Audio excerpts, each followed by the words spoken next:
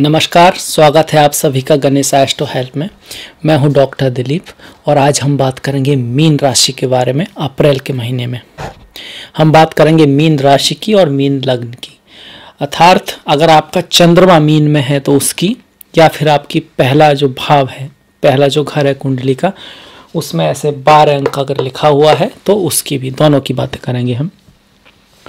तो इससे पहले कि मैं शुरू करूँ, हम बात करेंगे कैरियर के बारे में, विवाह के बारे में, प्रेम संबंधों के बारे में, व्यापार के बारे में, बच्चों के बारे में, एजुकेशन के बारे में, सभी चीज़ों के बारे में बात करेंगे। तो बता दूँ कि बहुत अच्छा महीना है आपके लिए, बहुत ही अच्छा महीना है। इस महीना मतलब कि ऐसे महीने कम ही आते हैं। जैसे ही आपकी कुंडली देखो तो ध्यान जाता है सीधा लाभ भाव के ऊपर। उस भाव के ऊपर जो भाव जीवन की इच्छाओं की पूर्ति करता है, जो हमारी जो भी भौतिक इच्छाएँ हैं, चाहे वो घर खरीदने की हो, चाहे हमारे गाड़ी खरीदने की हो, शादी होने की हो, बच्चे होने की हो, व्यापार बढ़ाने की हो, और सर्विस में ऊपर जाने की हो, सभी जो कंट्रोल करता है, वो करता है ग्यारहवा भाव। पहले तो ग्यारहवें भाव का स्वामी ग्यारहवें भाव में बैठा है, और शनि आपके लिए बहुत शुभ है गोचर में, ग्यारहवें भाव में शनि का गोचर।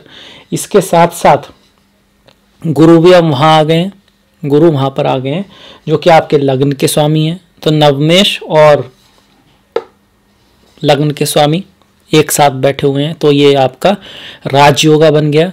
इसके साथ साथ मंगल वहाँ पहुँच गए हैं, जो कि भाग्येश हैं तो फिर से एक राजयोगा। मतलब कि ज़बरदस्त राजयोगा पे राजयोगा बने हुए हैं आपकी कुंडली में। तो बहुत ही अच्छा समय है ट्रांजिट के अकॉर्डिंग बहुत अच्छा समय है। धन आएगा, पैसा आएगा, व्यापार में उन्नति होगी कैरियर में उन्नति होगी, लोग आपकी बात मानेंगे, दोस्त आपके जो होंगे, वो आपके इस नेम फेम का कारण हो सकते हैं। आपका आपका खुद का और आपके खुद का जो सर्कल है दोस्तों का, वो जितना बड़ा होगा, उतना आपके लिए अच्छा है। इसके साथ साथ आपके गुरु, आपके बड़े भाई आपके छोटे भाई मतलब आपके जो सहयोगी हैं, वो आपका साथ देने वाले हैं।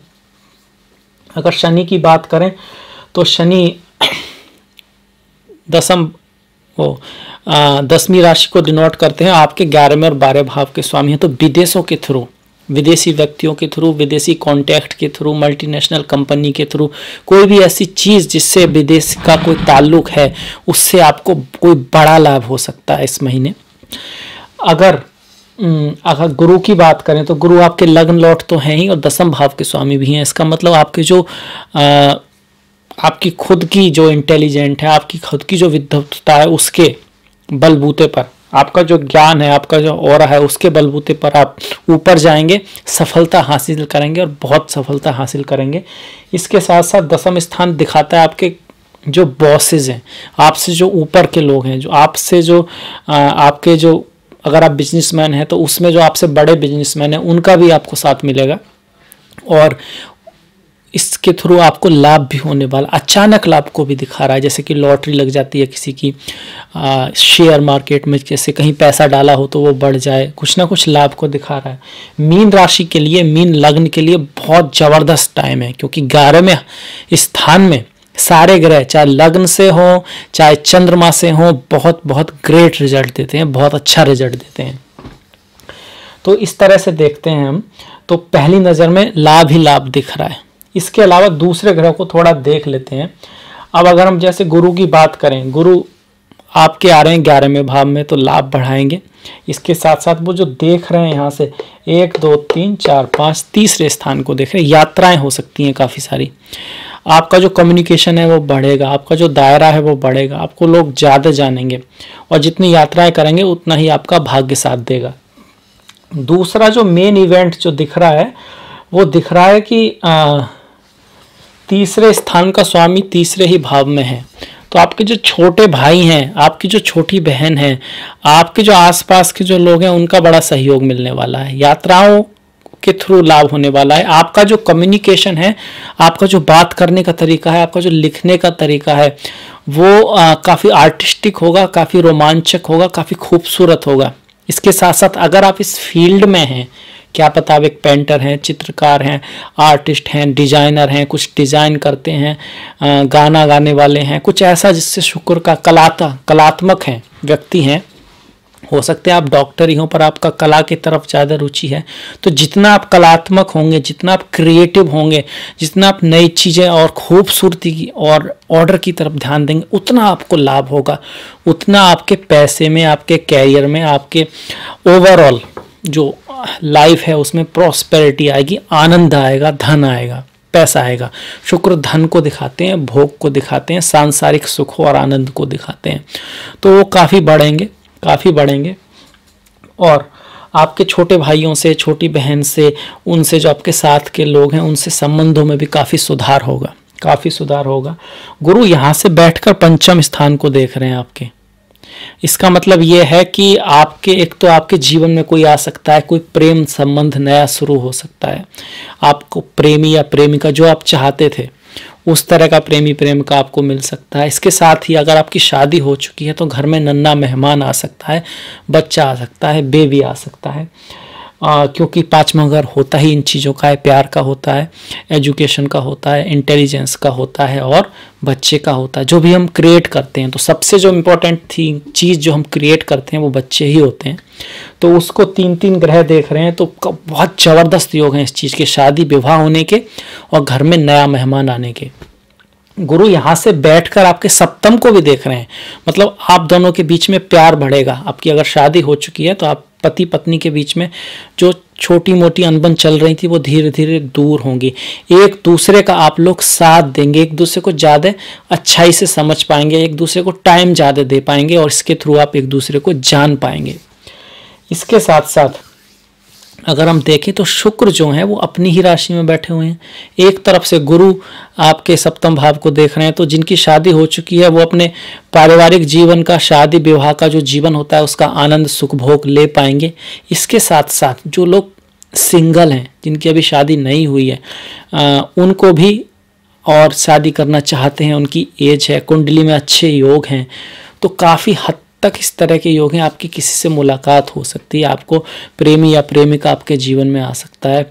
यहाँ तक कि है कि आपको हो सकता है कि चूज़ करना पड़े, कुछ ज़्यादा ही लोग आपके जीवन में आ जाएँ। इस तरह के चांसेस भी बनते हैं तो धर्म का पालन करते रहिएगा। तो बहुत अच्छा है इस तरीके से, इस नज़रिए से देखा जाए कैरियर के नज़रिए से अच्छा है बिज़नेस के नज़रिए से अच्छा है, बच्चों के लिए अच्छा है, प्रेम संबंध, आपसी व्यवहार के लिए अच्छा है। तो थोड़ी सी सावधानी क्या बरती जा सकती है। वाणी को स्वीट रखना है अच्छा बोलना है, फालतू के झंझट में नहीं पड़ना है, क्योंकि शुक्र, सूर्य जो है, दूसरे भाव में आएँगे आपके तेरह तारीख के आसपास। तो सूर्य ऐसे तो एग्जॉल्टेड हैं, पर थोड़ा सा अभिमान ला सकते हैं, आपकी वाणी में थोड़ा गर्व ला सकते हैं, आप थोड़े कमांडिंग हो सकते हैं, और वो लोगों को हो सकता है कि पसंद ना आए। इस वजह से छोटा मोटा नुकसान भी हो सकता है, पर धन लाभ कराएँगे। एग्जॉल्टेड प्लानट है तो धन लाभ होगा, पैसा तो आएगा। नए नए पैसों के सोर्स बनने वाले हैं। ग्यारहवें भाव में इतने ग्रह बहुत बहुत अच्छा मुबारक हो आपको। अगर आपकी कुंडली सपोर्ट कर रही है तो कोई नई अच्छी खबरें आपको मिलेंगी जो आपने सोची भी नहीं थी। हो सकता है कोई कॉन्ट्रैक्ट वगैरह आपका चल रहा है, आप सोच रहे हैं, होगा, नहीं होगा तो वो हो सकता है, उस पर हाँ हो सकती है। इस तरीके से कि आप शायद सोच रहे हो कि शायद हो ना, क्योंकि कंडीशन आजकल ऐसी चल रही है कि शायद ना हो पाए, पर हो जाएगा। तो उम्मीद कायम रखें, आपकी ट्रांजिट मिनिमम आपको सपोर्ट कर रहा है। यहाँ एक बहुत ही बात है, वो सभी राशियों के लिए आपके लिए नहीं। अब जरा ध्यान से देखें तो राहु और केतु उसके बाद सारे ग्रह इनके बीच में आए हुए हैं। तो बड़ा कार्मिक समय चल रहा है। एक तो कोरोना वायरस आप जो सुन रहे हैं तो ऐसा कुछ देखिए, राहु केतु के बीच में इतने सारे ग्रह, सारे ही ग्रह हैं, चंद्रमा तो घूमता रहता है। तो कार्मिक समय चल रहा है, वो सभी राशियों के लिए है। किसी राशियों के लिए यही कार्मिक समय उन्हें बहुत ऊपर ले जाएगा। आपकी राशि से लगता है बहुत ऊपर ले जाएगा। तो इस तरह का है। अगर हम बात करते हैं मंगल की तो मंगल एग्जॉल्टेड हो रहे हैं। तो घर खरीदने का गाड़ी खरीदने का आ, फ्लैट खरीदने के योग बने हुए हैं। मंगल आपके भाग्येश हैं और भाग्येश जो हैं वो ग्यारह में घर में जा रहे हैं। इसका मतलब है कि हायर एजुकेशन के थ्रू अगर आप स्टूडेंट हैं तो आपको लाभ होगा। आपको एजुकेशन के लिए कहीं जाना पड़ सकता है विदेश अगर जाना पड़ सकता है तो उससे आपको लाभ होगा। आपके जो बॉसेज हैं आपके जो गुरु हैं उनसे आपको लाभ होने वाला है। क्योंकि नाइन्थ लॉर्ड इन चीज़ों को दिखाता है। इसके साथ साथ आपके छोटे भाई से, जो मैंने बताया, क्योंकि मंगल खुद में सिबलिंग्स को दिखाता है, उनसे लाभ होने के चांसेस हैं। मंगल यहाँ पर बैठकर पंचम भाव को देख रहा है। तो बच्चा आपके घर में नया मेहमान आएगा उसके चांस तो बन रहे हैं हंड्रेड परसेंट पर यहाँ थोड़ा सा बन रहा है कि आप मे भी आप कुछ ज़्यादा स्ट्रिक्ट हो सकते हैं बच्चों के साथ। तो उनके साथ ज़रा नरमी से, प्यार से पेश आए। बुद्धिमानी से काम लें, गुस्सा ना दिखाएँ उनके ऊपर। तो आपके लिए ये मंगल का जो गोचर है, ज़्यादा बेनिफिक होगा। मंगल यहाँ से आपके छठे भाव को भी देख रहे हैं। तो स्वास्थ्य का थोड़ा ख्याल रखें, ज़्यादा मीठा ना खाएँ, ज़्यादा तली भुनी चीज़ें ना खाएँ, और अपने कार्य और आराम का एक जो है टाइम टेबल बनाएँ, ताकि आपको शरीर को आराम भी मिले और आप काम भी करते रहें। इस तरह का, ताकि उसका स्वास्थ्य आपका सही रहे। अगर राहु की बात करें तो राहु आपके अष्टम को देख रहे हैं। तो सास ससुर जो हैं, उनसे थोड़ा सा अनबन हो सकती है। तो अपने सास ससुर जो हैं, उनके साथ प्रेम व्यवहार बनाए रखें। भाई, रिश्ते बने रहने चाहिए। टाइम तो आता जाता है। तो अगर कोई बात होती है तो उसे प्रेम से सुलझा लें। और राहु यहाँ से बैठकर आपके दसम भाव को भी देख रहे हैं। पर फ़िलहाल तो आपका सूर्य जो सेकंड में आ रहे हैं तो मतलब थोड़ा बहुत अनबन हो सकती है बहुत से, पर इंड एंड आपको फ़ायदा होने वाला है। राहु यहाँ से आपके बारहवें घर को देख रहे हैं। इसका मतलब विदेश यात्रा, बाहर की यात्रा, दूसरे कल्चर के जो लोग हैं, उनसे आपका मिलना जुलना हो सकता है या उसमें आपका इंटरेस्ट जा सकता है। हो सकता है आप घूमने ना जाएँ, पर आप डॉक्यूमेंट्री देखने लगे ऐसी जो बाहर की हैं। हो सकता है कोई सीरियल आपको ऐसा पसंद आए जो दूसरे कल्चर को दिखाता है। मतलब कोई ना कोई रुझान जाएगा आपका बाहर की तरफ़, विदेश की तरफ़, दूसरे कल्चर की तरफ़। और अगर हम बात करते हैं आपके राहु का जो दसम पे जो एस्पेक्ट है तो पिता से थोड़ा बहुत अनबन हो सकती है, कुछ खास नहीं है उसमें, क्योंकि सिर्फ़ राहु देख रहे हैं, केतु वहाँ पर बैठे हैं कभी कभी आलस आ सकता है। आपका जो ध्यान है, ऐसी चीज़ों की तरफ़ जा सकता है, जैसे ज्योतिष हो गया, योगा हो गया मेडिटेशन हो गया, आप थोड़े से ज़्यादा स्परिचुअल और आध्यात्मिक लाइफ की तरफ़ इंटरेस्ट ले सकते हैं इस साल। आपका ऐसा मन हो सकता है। और आप अगर ऐसा करेंगे तो ये आपके कैरियर के लिए भी अच्छा होगा। थोड़ा सा अगर भगवत गीता पढ़ेंगे, थोड़ा सा योगा करेंगे, इसके साथ साथ अपने कैरियर पर ध्यान रखेंगे तो आप अपने आप को ज़्यादा बैलेंस रख पाएँगे, आप अपने कैरियर में ज़्यादा अच्छा कर पाएँगे। अगर हम बात करें बुद्ध की तो बुद्ध आपके दसम के लॉर्ड हैं और सप्तम के लॉर्ड हैं और सात तारीख के बाद शायद आपके लग्न में आ जाएँगे। हाँ छः तक हैं और साथ में वो आपके लग्न में आ जाएँगे। यहाँ पर बुद्ध डेबिलिटेटेड है। सप्तम का स्वामी लग्न में आ रहा है तो आपकी जो पत्नी है या आपके जो पति हैं, वो आप पे थोड़ा कमांड करने की कोशिश करेंगे। वो आपको दिखाना चाहेंगे, भाई, ये काम ऐसे होता है, ऐसे नहीं होता है। तो आप सुन लीजिएगा, मान लीजिएगा बात अगर सही है तो। अगर सही भी नहीं है तो प्राम, प्रेम से समझाइएगा। और गुस्सा होने की यहाँ पे कोई जो गुंजाइश नहीं है रिश्तों में। वैसे भी आपके जो मंगल हैं, एक, दो, तीन, चार आपके फैमिली के लाइफ को देख रहे हैं तो गुस्से को और धैर्य को, गुस्से को आने नहीं देना है और धैर्य को बनाए रखना है। दो चीज़ों का ध्यान रखना है, गुस्से को नहीं आने देना है, आता है तो उसे देखें, क्यों आ रहा है, ध्यान दें पर जवाब न दें, वो थोड़ी देर में शांत हो जाएगा। और धैर्य रखना है, जल्दबाजी नहीं करनी है, कुछ कहने में, कोई निर्णय लेने में पहले अच्छी तरह से सोच समझ के फिर करना है, ज़्यादा भावुकता में कोई निर्णय नहीं लेना है। गुरु जो है, वो ग्यारहवें भाव से एक, दो, तीन, चार, पाँच, इसके बारे में हमने बात की, इसके बारे में बात की, इसके बारे में भी बात की हमने। शनि के अब थोड़े एस्पेक्ट देख देते हैं। शनि आपको धैर्य देंगे, जो मैं कह रहा था धैर्य चाहिए, शनि उसमें आपकी सहायता करने वाले हैं। शनि यहाँ से आपके पंचम को देख रहे हैं तो आप काफ़ी हद तक स्ट्रिक्ट रहेंगे। काफ़ी हद तक डिसिप्लिन रहेंगे, काफ़ी हद तक जो आपकी सोच होगी प्रैक्टिकल रहेगी इस साल और जो ज़रूरी है आपके लिए, जो आपको हेल्प करेगी। शनि इसके साथ साथ अष्टम को भी देख रहे हैं तो थोड़ा स्वास्थ्य का ध्यान रखिएगा, स्वास्थ्य का ध्यान रखिएगा। अपना जो टाइम रूटीन है वो खाना पीना अच्छा लीजिएगा और वर्क और जो रेस्ट है उसके बीच जो है बैलेंस रखिएगा और जो सास ससुर से थोड़ी शनि गड़बड़ करा सकते हैं तो उसका थोड़ा ध्यान रखिएगा। यहाँ एक खास बात है कि अष्टम का स्वामी आपके थर्ड भाव में आ रहा है और अपनी ही राशि में है। तो एक तरह से आपको सास ससुर से कोई लाभ भी हो सकता है। पत्नी के थ्रू लाभ हो सकता है, फीमेल्स के थ्रू लाभ हो सकता है। आप जहाँ काम करते हैं, वहाँ पर भी कुछ फीमेल ऐसी हो सकती है जो आपके लिए हेल्पफुल साबित हों। उनसे इंटरेक्शन ज़्यादा बढ़ सकता है स्त्रियों से। स्त्रियों से ज़्यादा इंटरेक्शन बढ़ सकता है। और जो लोग सिंगल हैं जिन लोगों की शादी नहीं है उनका बड़ा चांस है किसी से मिलने का, मुलाकात का, शादी, विवाह का, प्रेम का, प्रेम संबंध होने का। और ये प्रेम शादी में भी बदल जाए तो कुछ कह नहीं सकते, क्योंकि गुरु की जो दृष्टि है वो सप्तम पे आ रही है और शुक्र जो है तृतीय स्थान में है। शुक्र तीन, सात और ग्यारह स्थान में बहु स्त्री योगा देते हैं। स्त्री तो नाम सिर्फ़ नाम के लिए, बहु पुरुष भी कह सकते हैं। मतलब कि चांसेज है कि बहुत सारे आपके संबंध ना हो वो ज़रूरी नहीं है क्योंकि आपकी जन्म कुंडली पर डिपेंड करता है, पर चांसेज है कि लोग आपके जीवन में आएँगे। तो अगर आप सिंगल हैं तो आप चूज़ करिए, कौन सा आपको पसंद है। तो इस तरह की स्थिति आ सकती है अगर आपकी कुंडली भी सपोर्ट कर रही है तो। आप ध्यान रखिएगा कि जो गोचर वही दे सकते हैं जो कुंडली में लिखा है। पर गोचर बहुत अच्छा है आपके लिए ओवरऑल एक से एक बढ़ के योग बना हुआ है। ओवरऑल देखा जाए तो शनि अच्छे, गुरु अच्छे, मंगल अच्छे, और क्या चाहिए? ग्यारह ग्यारह में स्थान में। तीन तीन ग्रह बहुत अच्छा बहुत बढ़िया योग है आपके लिए। अब इसके बाद हम बात करते हैं थोड़ा आ, क्या थोड़ा सा ध्यान रखना है। एक तो वाणी का ध्यान रखना है थैर बनाए रखना है माता का स्वास्थ्य का ध्यान रखना है और पिता के साथ या बॉस के साथ अगर कोई अनबन होती है तो उसको प्रेम से सुलझाना यही कुछ बातें हैं। बच्चों के साथ ज़्यादा स्ट्रिक्ट नहीं होना है उनको प्यार से समझाने की कोशिश करना है। तो इसके बाद हम बात करते हैं त्योहारों की क्या क्या त्यौहार हैं इस महीने में? तो दो तारीख को, दो अप्रैल को रामनवमी है। इस दिन जो चंद्रमा है, वो पुष्य नक्षत्र में रहेंगे और गुरुवार का ये दिन है। तो इस दिन अगर कोई शुभ काम किया जाए तो वो बढ़ता है, कोई चीज़ खरीदी चाहे जो, वो भी बढ़ती है। पुष्य एक्चुअली नक्षत्र है जो पोषित करता है। इसकी जो डायटी है, वो बृहस्पति हैं, गुरु, गुरुदेव बृहस्पति हैं तो बहुत ही शुभ नक्षत्र माना गया है। शादी को छोड़कर आप कुछ भी कीजिए। उसके लिए ये जो है अच्छा नक्षत्र होता है।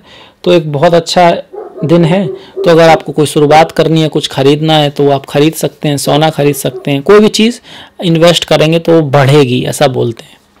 इसके बाद आठ तारीख को हनुमान जयंती है। हनुमान जयंती, हनुमान जी का संबंध है शनि महाराज से। तो अगर आपकी दशा, महादशा में शनि ऐसा चल रहा है जो फेवरेबल नहीं है, आपको कुछ शनि के उपाय करने हैं तो उसके लिए बहुत अच्छी डेट है, आप दान पुण्य जो करना चाहेंगे, वो कर सकते हैं, सुंदरकांड का पाठ कर सकते हैं, हनुमान जी पर सिंदूर चढ़ा सकते हैं। और केतु के लिए भी बोलते हैं कि हनुमान जी को झंडा चढ़ाते हैं, देवी माता को और हनुमान जी को बजरंग बली को तो वो भी आप कर सकते हैं इस दिन, उसका आपको लाभ मिलेगा। लाल रंग का झंडा चढ़ाते हैं केतु के लिए। अगर वो आपकी कुंडली में अनफेवरेबल है तो इस दिन वो ज़्यादा इफ़ेक्ट होगा इसका। उसके बाद 22 तारीख को अमावस्या है। अमावस्या हमारे पितरों से जुड़ी हुई है। हमारे जो लीनियज है, उससे जुड़ी हुई है। तो अगर आपकी कुंडली में पितृ दोष है, सूर्य एफ्लिक्टेड है, सूर्य से नवमा दसवा ग्रह अफ्लिक्टेड है, पांचवा या नौवा ग्रह, घर जो है वो इफ्लेक्टेड है। आपकी कुंडली में पितृ दोष है। तो अमावस्या एक अच्छा अवसर है, पूजा करने का, मंत्र जाप करने का, अनुष्ठान करने का। तो उस दिन ज़्यादा लाभ होता है। इसके अलावा भी बोलते हैं कि अमावस्या को आपको दान पुण्य कुछ करना ही चाहिए। इससे आपको पूर्वजों का जो एंसेस्टर्स हैं, उनका आशीर्वाद प्राप्त होता है। इसके साथ साथ 26 अप्रैल को अक्षय तृतीया है। ये ऐसा दिन है जिस दिन चंद्रमा और सूर्य देव दोनों ही अपनी उच्च राशि में होते हैं। तो बहुत ही अच्छा दिन है। किसी चीज़ को शुरू करने का, किसी अच्छी चीज़ को शुरू करने का अक्षय, जिसका नाश ना हो, जिसका क्षय ना हो। तो इस तिथि का आप लाभ उठाइएगा, उपयोग कीजिएगा। कोई ऐसी चीज़, अगर आपका प्लान है कुछ काम शुरू करने का, जो बढ़े, कोई शुभ काम तो वो ज़रूर कीजिएगा। तो ये था मेरी तरफ़ से अप्रैल का मीन राशि वालों के लिए, मीन लग्न वालों के लिए मासिक राशिफल। मुझे आशा है कि ये आपको बहुत पसंद आया हो। अगर आपको पसंद आया हो तो प्लीज़ लाइक कीजिएगा चैनल को सब्सक्राइब कीजिएगा और जो घंटी वाला जो बटन है उसको दबाना मत भूलिएगा ताकि आपको नोटिफिकेशन मिल सके। अगर आपकी कोई सलाह है आ, किसी तरह से क्या करना चाहिए किस तरह से इस प्रोग्राम को और खूबसूरत बनाया जा सकता है या कोई आपको कमी नज़र आई है तो आप उसके बारे में अवश्य लिखिएगा। इसके साथ ही मिलेंगे नेक्स्ट वीडियो में तब तक के लिए नमस्कार।